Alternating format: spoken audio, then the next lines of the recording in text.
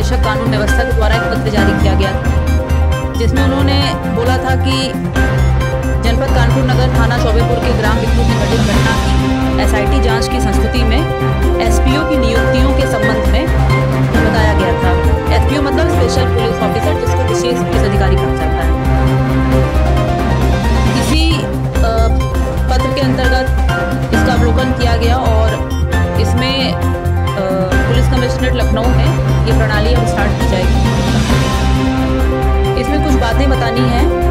ये जो विशेष पुलिस अधिकारी होते हैं इनकी नियुक्ति व कर्तव्यों आदि के संबंध में पुलिस अधिनियम अठारह की धारा 17, 18 एवं 19 एवं पुलिस रेगुलेशन के अध्याय 27 के पैरा तीन सौ अड़सठ में इसका उल्लेख किया गया है। ये जो विशेष पुलिस अधिकारी होंगे ये हर जोन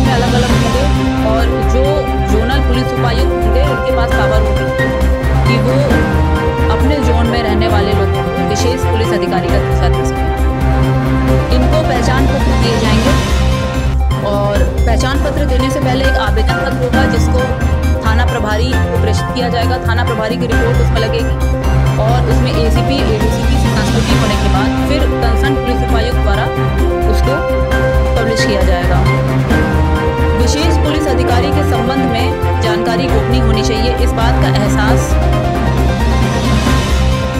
अ, पुलिस अधिकारी आएगा अ, जैसे डीसीपीज ट्रांसफ़र होते हैं जो दूसरे भी डीसीपीज आएँगे तो इसकी इसकी गोपनीयता हमेशा बना के रखनी है।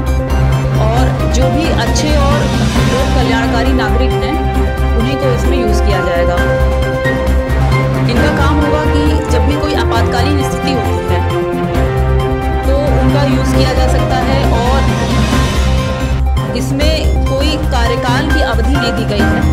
एक अवधि के लिए इनको नियुक्त किया जाएगा। ये कंसर्न पुलिस उपायुक्त के ऊपर डिपेंड करेगा या इसके अलावा अगर पुलिस आयुक्त महोदय द्वारा अगर कोई इसमें डायरेक्शंस दिए जाएँगे तो उन डायरेक्शंस का पालन किया जाएगा, कितने अवधि के लिए इनको रखा जाएगा।